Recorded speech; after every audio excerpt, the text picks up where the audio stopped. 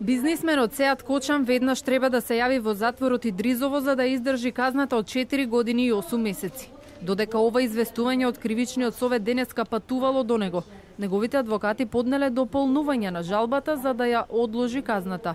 Извори од судот за телевизија 24 велат дека тој одново се жалел дека не може да оди во затвор затоа што се уште е хоспитализиран и требало да му биде извршена некоја интервенција.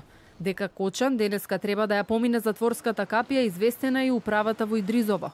По разгледување и ценење на жалбата, Советот донесе решение со кое жалбата ја одби како неоснована и го потврди решението на судијата за извршување санкции, според кое осуденото лице е должно веднаш да се јави на издржување на затворската казна. Одлуката на Советот е писмено изработена и експедирана до странките.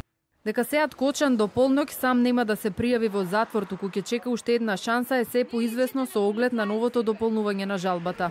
Неговата одбрана денеска не одговори на нашите повици за да ги расчисти овие дилеми. Но и да има ново барање за одложување, тоа не го спречува одењето во затвор, велат од судот. Ако сам не се појави на издржување на затворската казна, управата утре ќе треба да го извести судот, кој ќе треба да подпише наредба за приведување.